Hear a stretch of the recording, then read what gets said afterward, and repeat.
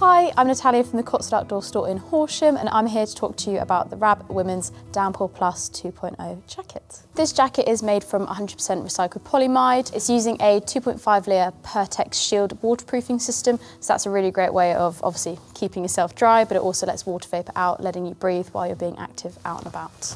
On this jacket we have the use of YKK zips, which is a really good quality zip used on plenty of products, so you know you're getting a great piece of zippage.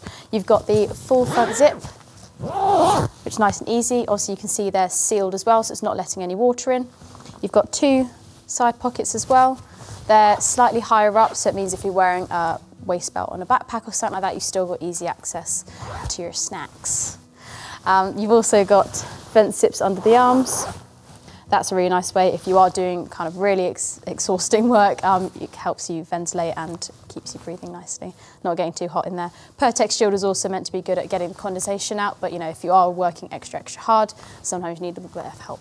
In terms of making this jacket fit for you, you've got adjustable cuffs which are Velcro, you've got a hem cord on either side, which also helps you cinch in, stops kind of drafts getting in and keep you nice and warm. You've got a helmet compatible hood as well, and again, adjustabilities to make that fit really nicely, getting your own fit and getting you out there.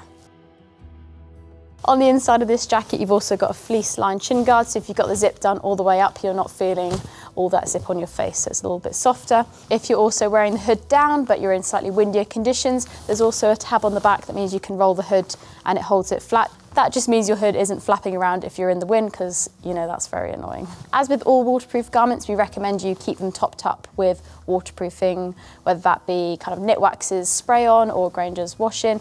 You want to be reproofing it when it looks like water stops beading on this fabric because that means it's permeating instead of repelling off and you want to stay nice and dry. So look after your kit and it will look after you.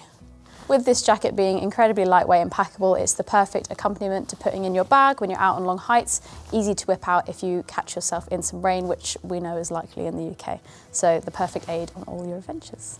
With this jacket, I'm currently wearing a UK size 10. It's a nice slim fit. It's an alpine fit, so it's meant to be fitted, um, especially if you're using it for climbing. It means that you've not got excess material flying around.